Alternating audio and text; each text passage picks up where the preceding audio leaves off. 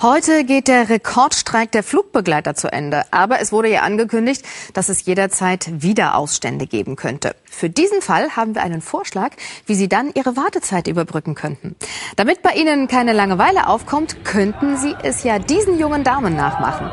Eine amerikanische Schwimmmannschaft lässt es sich nicht nehmen, ein paar Trainingseinheiten mal etwas anders anzugehen. Mit Hilfe eines Rollbandes. Und das macht nicht nur fit, sondern sieht auch noch sehr gut aus. Ob der nächste Wettkampf der Damen durch diese Einheit erfolgreich verlief, das ist allerdings nicht bekannt.